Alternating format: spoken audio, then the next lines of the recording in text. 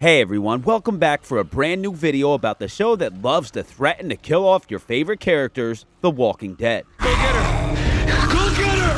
Warning, beyond this point, there are spoilers for people who are not up to date on The Walking Dead TV and comic series. This video will cover our theories on the next surprise death, but first we're going to take a look at the opening minutes of the Michael Cudlitz directed episode 7 titled Stradivarius, and we have to be honest, it's not looking good for Rosita here.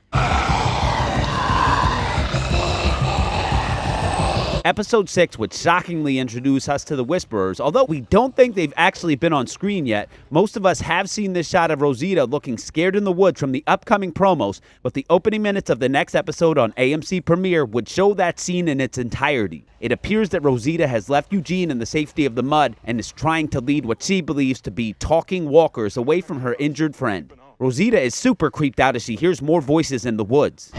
Oh, And here's the worst part. We know this looks terrible for fan favorite Rosita, but we believe she'll be taken hostage and not killed. Either way, it's so scary to actually think of her alone in the woods with these freaks. That leads us into our theory of who will actually die. We all know there is usually a mid-season finale death, and the only character rumored to die around episode 8 or 9 is Jesus. We believe this rumor will prove to be untrue. We think that Rosita will be taken hostage by the Whisperers. We also think the creepy Low Talkers will take another hostage from another group, possibly Luke, as Luke does eventually end up on a pike in the comics. Kidnapping one of Magna's group would unite them with our main survivors more as they would share a common enemy. We think that Father Gabriel will go looking for his new romantic interest and that he might even go to the water tower. An iconic death in the comics was Father Gabriel on a water tower, and his killer was none other than Beta, who will be played by Sons of Anarchy favorite Ryan Hurst. In the comics, Gabriel is looking out from the water tower, but when a herd rushes the location, he freaks out, falls, and gets caught by his ankle on the ladder. Beta then comes to help him. It's a pretty gory death, even for the comics. We believe an Easter egg to the shot was teased last season, but that this actual death is coming and nobody seems to know it. We scanned a lot of different sites and we couldn't find any information about Gabriel filming after episode 8 or 9. But the beauty of God's love and forgiveness is that it is bountiful.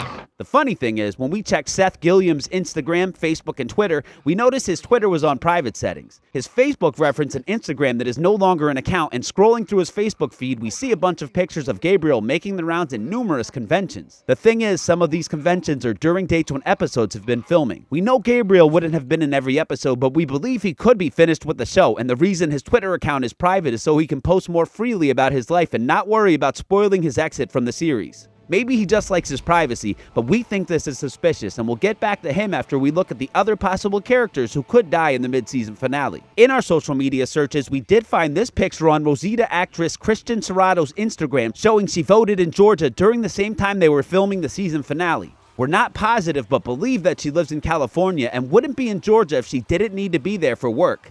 Even though this isn't a solid confirmation, we think that this is strong evidence she will make it past the mid-season finale and are very hopeful her head doesn't end up on a stick. The other character heavily rumored to die is Jesus. A funeral was also mentioned, but we believe that the funeral would be for Father Gabriel and possibly even others like Luke. In the comics, it was Jesus who found Gabriel's body while preparing for a funeral for their dead. Jesus actor Tom Payne was in Atlanta playing a gig with his band while episode 15 was being filmed, and we think although his injuries will probably sideline him for a few episodes the way Aaron's did the first half of this season, that Jesus will rise again to righteously smite Walker and Whisperer alike. Jesus was in fact spotted on set after his alleged death. And even though he was in street clothes, we think this is evidence that he does in fact survive the Whisperer attack. To recap, Rosita has been in Georgia recently, Jesus has been in Georgia recently, and Father Gabriel has been doing a lot of conventions, and for some reason, his Twitter account is private. We believe Father Gabriel will be the one to die, and that Rosita and Eugene may eventually end up together as they do in the comics. The question is, will Rosita be able to keep her head at the end of the season? We believe that there's more story to tell for both Rosita and Jesus, while Father Gabriel's time may be coming to an end. Father Gabriel has been given significant story time this season, while Rosita and Jesus have not. We've also come to the conclusion that Luke's fate does not look good either, and we could get a double death in the mid-season finale. Luke is only listed for six episodes on his IMDb this season, while Magna and Yumiko are both listed for eight. We know this isn't proof, but it is evidence that his character's appearance on the show could be short lived. What do you think? With the mid-season finale less than two weeks away and the grand spectacle of Rick's exit finally over, we think Angela Kang wants to shock us and leave us hanging, counting the minutes until the show's return in 2019. Shut up!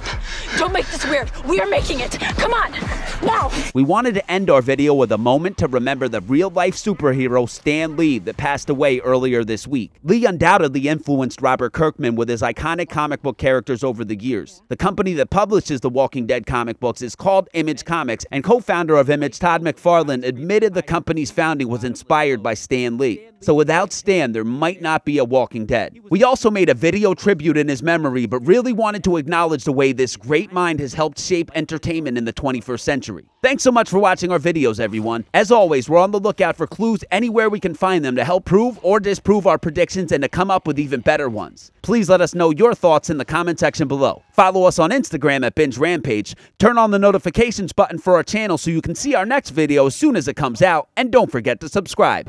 If we start tomorrow right now, no matter what comes next, we've won.